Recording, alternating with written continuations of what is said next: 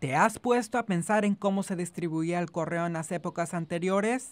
Antes de que se inventaran los autos, unos residentes de Porterville y Springville en el Valle Central acuden a una caminata que se lleva a cabo desde hace 56 años para distribuir el correo como lo hacían en carruajes en épocas anteriores. El dirigidor del vagón nos cuenta cómo es que se lleva a cabo esta caminata. Esto se ha llevado a cabo por un largo tiempo y representa los días del viejo oeste en cual Tulare fue parte. Cada año el Comité del Correo produce una estampilla especial cual puede ser adquirida en diferentes locales de la ciudad.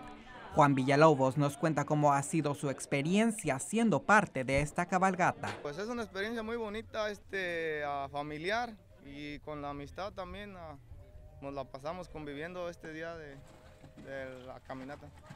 Las estampillas son transportadas por aproximadamente 15 millas en un carruaje haciendo varios descansos. La cabalgata que viene desde Porterville hasta aquí donde me encuentro yo en Springville es única en sí ya que no sucede en otra parte en los Estados Unidos. Patty Torrey ha sido parte de esta cabalgata por 35 años donde ha tomado varias posiciones como ser parte del comité hasta tocar en la banda durante el descanso. Participé una vez nada más para divertirme en las calles. Después empecé a tocar música del viejo oeste por algunos 33 años. Además fui parte del desfile, montaba a caballo en la cabalgata y también fui parte del comité. Ya ha llegado el carruaje a su destino. Las estampillas son distribuidas a cualquier parte del mundo. Juan Ávila, Fresno State Focus.